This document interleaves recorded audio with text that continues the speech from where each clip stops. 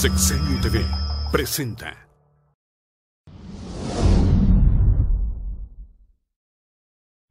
En verdad me siento muy contento de estar en la Universidad Tecnológica de Huejotzingo y sobre todo poder constatar el desarrollo que ha tenido esta institución que con mucho orgullo les digo el día de hoy que ya es la segunda con mayor matrícula en el Estado. Y por supuesto, este es el compromiso que tenemos con la educación de calidad.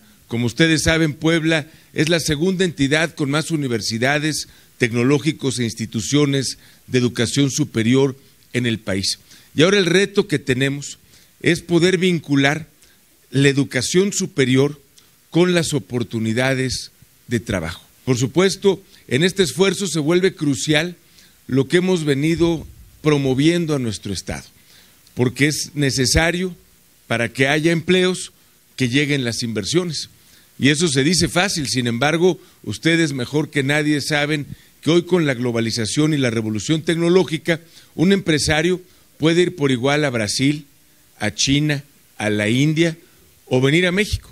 Y si decide venir a nuestro país, puede invertir en cualquiera de los estados de la República, de tal suerte que se vuelve crucial la competitividad, el poder generar condiciones que nos permitan atraer y mantener inversión nacional y extranjera. Por mi parte era mi primera participación en esa competencia en Juegos Centroamericanos. Eh, yo considero que sí, ya habíamos este, planeado o, pensado estar en, los primeros lugares, en primer lugar.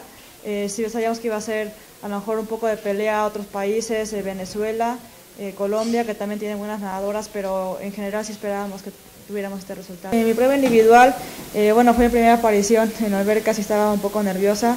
Eh, me sentí muy bien físicamente y mentalmente, sí estaba preparada para, para competir. Igual feliz, igual por toda la gente que estaba ahí en, en las gradas. me sentí bien, ya, bueno, mi tiempo no lo mejoré como yo, yo esperaba, pero pero en general, bueno, me sentí bien, mejoré muchas cosas eh, de la vuelta, por ejemplo, las flechas, eh, aspectos técnicos, se los mejoré, pero bueno, en el tiempo así no se pudo mejorar.